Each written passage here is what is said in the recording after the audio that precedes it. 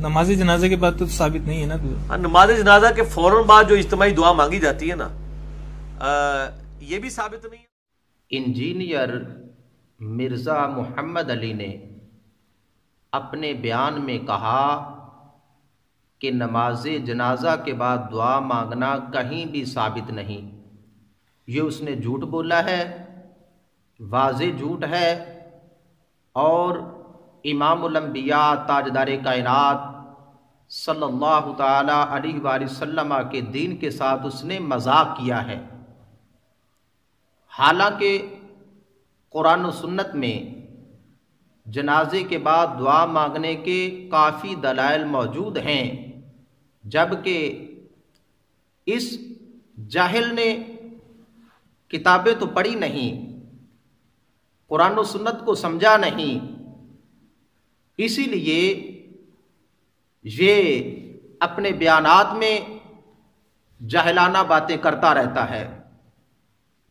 اب نماز جنازہ کے بعد دعا مانگنے کا ثبوت میں دینے لگا ہوں۔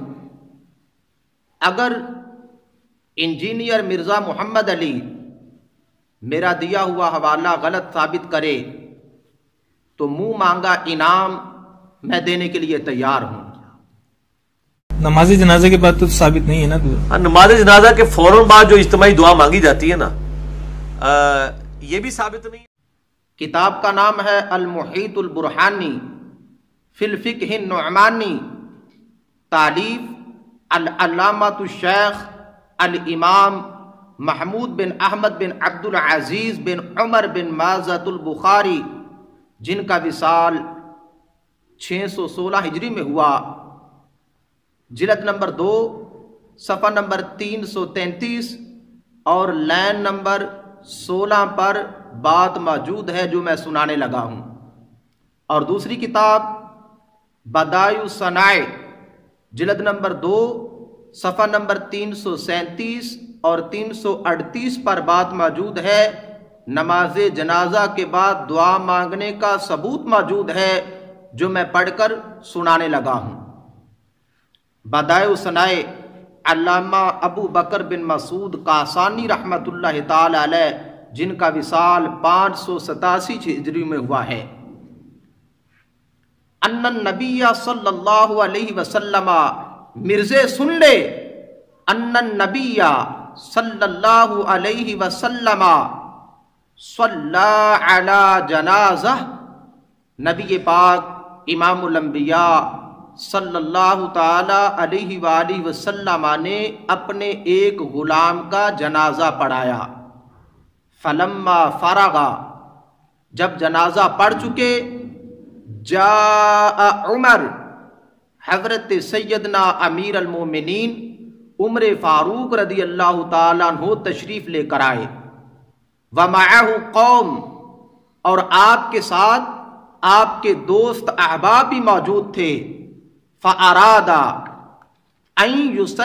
ثانیہ سیدنا امیر المومنین عمر فاروق رضی اللہ تعالی عنہ، آپ نے ارادہ کیا کہ جنازہ میں دوبارہ پڑھ لوں، کیونکہ آپ جنازے سے رہ گئے تھے، نبی پاک علیہ السلاۃ والسلام جنازہ پڑھ چکے تھے۔ ابھی میت کو دفن نہیں کیا تھا۔ جب جنازہ دوبارہ پڑھنے کا ارادہ کیا فقال له النبی صلی اللہ علیہ وسلم، الصلاة علی الجنازة لا تعاد. نبی پاک امام الانبیاء علیہ الصلاۃ والسلام نے ارشاد فرمایا، اے عمر، جنازہ دوبارہ نہ پڑھ، جنازے کو دہرانا نہیں، ولیکن ادعو للمیت، ہم جنازہ پڑھ چکے ہیں۔ ابھی تو نے پڑھا نہیں، تو دوبارہ جنازہ نہ پڑھ، بلکہ تو میت کے لیے دعا کر لے۔ تو پتہ کیا چلا؟ نماز جنازہ پڑھنے کے بعد نبی پاک امام الانبیاء علیہ السلاۃ والسلام حکم فرما رہے ہیں کہ اے عمر، تو جنازے کے بعد دعا مانگ لے۔ اور سیدنا عمر فاروق رضی اللہ تعالیٰ عنہ نے نماز جنازہ کے بعد دعا مانگی۔ دوسرا، کتاب کا نام ہے المبسوط، امام سرخسی رحمت اللہ تعالی علیہ، جن کا وصال چار سو نبے ہجری میں ہوا، مکتبہ رشیدیہ، بلوچستان کی چھپی ہوئی کتاب، جلد نمبر ایک، صفحہ نمبر ایک سو سات پر بات موجود ہے جو سنانے لگا ہوں۔ اور طبقات القبرا، جلد نمبر تین، صفحہ نمبر تین سو انہتر پر بات موجود ہے جو سنانے لگا ہوں۔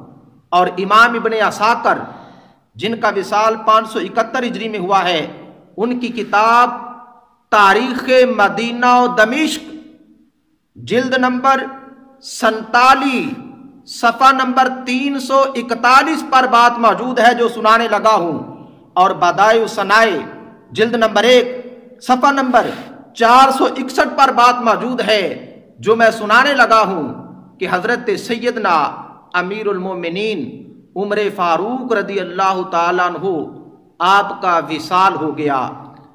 صحابہ کرام رضوان اللہ تعالی علیہ مجمعین نے آپ کا جنازہ پڑھا اور حضرت سیدنا عبداللہ بن سلام رضی اللہ تعالیٰ عنہ آپ جنازہ پڑھنے کے بعد آئے، دور سے دیکھا کہ حضرت عمر فاروق رضی اللہ تعالیٰ عنہ کا جنازہ پڑھنے کے بعد صحابہ کرام دعا مانگ رہے ہیں۔